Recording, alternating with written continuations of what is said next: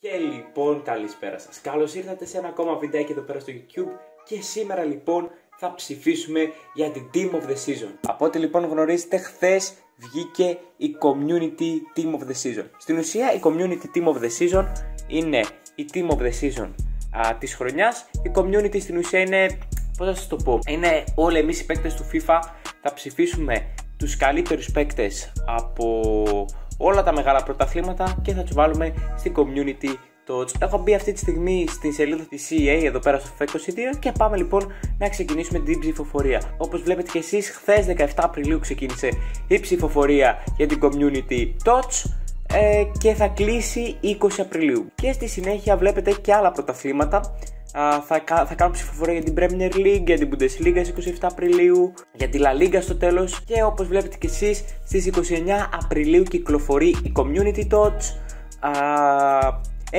Μαΐου κυκλοφορεί Premier League Touch, 13 Μαΐου η Bundesliga Touch και 20 του μηνός, το αντίστοιχο μήνα δηλαδή του Μάιου, κυκλοφορεί της La Liga. Αυτά λοιπόν έχουμε μέχρι στιγμής.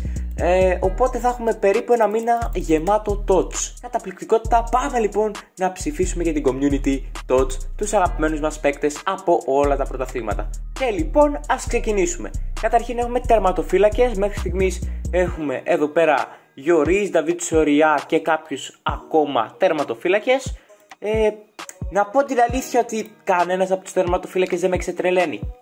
Δηλαδή πιστεύω πως θα μπορούσε να έχει κάποιου καλύτερου τερματοφυλακέ. Δεν ξέρω. Δηλαδή ένα no black θα μπορούσε να τον είχε ή κάποιον ξέρω εγώ αρκετά καλύτερο. Αλλά ο Black και αυτοί μπήκανε στην Team of the Year, οπότε πολύ πιθανόν μπορεί να μην μπαίνουν στην Team of the Season. Τέλος πάντων, α, για τερματοφύλακα θα επιλέξει το Lloris. Δηλαδή το θεωρώ αρκετά καλύτερου από τους υπόλοιπους. Πάμε λοιπόν στου αμυντικούς. Βλέπετε εδώ πέρα τους αμυντικούς. Αυτή είναι η λίστα με τους αμυντικούς. Έχει πάρα πολλούς αμυντικούς, είναι η αλήθεια. Αυτό βλέπω κι εγώ. Ούτε εδώ βλέπω κάτι το super αξιόλογο. Θα ξεκινήσω με το Λαπόρτε που σίγουρα θα το βάλω μέσα γιατί ναι, όντως αξίζει μια θέση. Ε, μετά θα βάλω τον Κόντι επειδή είναι από Premier League και τα λοιπά. Έχω ακούσει κάποια πραγματάκια. Δεν το ξέρω είναι η αλήθεια πάρα πολύ, παιδιά. Δηλαδή, τι να πω για τους παίκτες αυτούς, τους περισσότερους δεν τους γνωρίζω καθόλου. Α, έχουμε και το Lacroix. Θα το βάλουμε και αυτόν μέσα. Ε, βασικά, ναι, δεν τους βάζω στη σωστή θέση. Ξέρω εγώ, νομίζω ο Lacroix είναι center back. Το βάζω εδώ πάνω. Ε, Ω right back.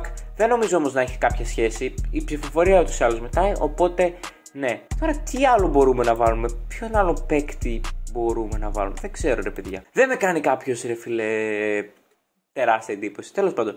Ξέρετε τι, θα βάλουμε τον Botman, μιας που είναι bot, ας το βάλουμε μέσα. Ωραία, πάμε στους midfielders, όπου έχουμε καλούτσικα πράγματα και βλέπετε εδώ πέρα έχουμε Παρέχο, Gnabry, Καράσκο, μερικοί άλλοι διάφοροι, για να δούμε, έχει κάποιος άλλος, έχει Fred, ε, εντάξει, Douglas Lewis, έχει μπόλικο πραγματάκι είναι η αλήθεια εδώ, έχει έχει πάρα μα πάρα πολύ. Λοιπόν, σίγουρα κάποιοι midfielders οι οποίοι αξίζουν θα σας τους βάλω αυτή τη στιγμή. Σίγουρα θα ξεκινήσουμε με τον Gnabry ο οποίος είναι καταπληκτικότατο. Σίγουρα θα βάλουμε και τον Παρέσκο. Γιατί ναι, θα ήθελα πολύ να βγάλουμε και μια κάρτα στον Παρέσκο. Και θα ήθελα και πάρα πολύ και στον Καράσκο.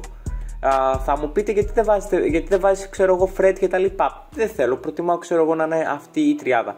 Και περνάμε στους attackers όπου πάμε να δούμε τι παίκτες έχουμε. Έχουμε Σουάρες καταρχήν, Μορένο, Βέλα, Ζαχά, Λακαζέτ, Κράους. Έχουμε εντάξει.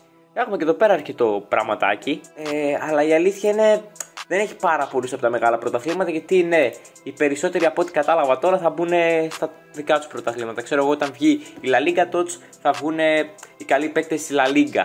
Πάντως μεγάλη εντύπωση που δεν έχει τη Γαλλική Λίγκα. Δεν ξέρω γιατί, αλλά με έκανε μεγάλη εντύπωση που δεν έχει Γαλλική Λίγκα θα τη θεωρούσα καλό να υπήρχε. Δεν ξέρω τώρα τι παίζεται, πραγματικά. Μπορεί να έχουμε και κάποιο πρόβλημα, ξέρω εγώ, η EA με τα συμβόλαια. Θα φανεί. Λοιπόν, σίγουρα παιδιά θα μπει Σουάρε. θα βάλω και έναν ε, Λακαζέτ, ο οποίος δυστυχώς έχει χάσει πάρα πολύ τη φόρμα του από ό,τι έχω καταλάβει τελευταία.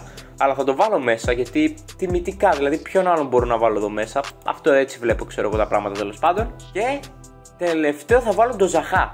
Και για ποιο λόγο θα βάλω τον Ζαχά θα βάλω τον Ζαχά γιατί έχει μια πολύ ωραία κάρτα στο game. Αν θυμάμαι καλά, παιδιά, ο Ζαχά έχει τεράστιο pace στο παιχνίδι. Οπότε, αν βγει κάποια community touch κάρτα του Ζαχά πραγματικά πιστεύω θα είναι τερματισμένη κάρτα.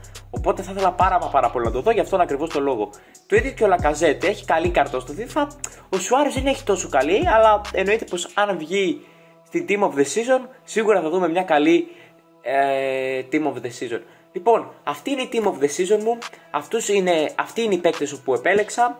Α, ελπίζω βέβαια να σας άρεσε αυτό το βιντεάκι κτλ. Α κάνουμε και ένα submit εδώ πέρα να τελειώνουμε. Ωραία, μας βγάζει ότι η ψηφοφορία μας κτλ.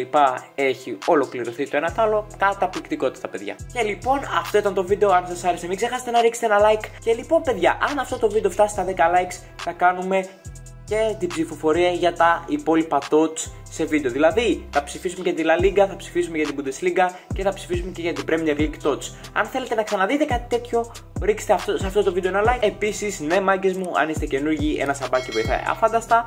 Εύχομαι να χαρήκατε αυτό το βίντεο, εύχομαι να σας άρεσε. Καλή συνέχεια, γεια σας.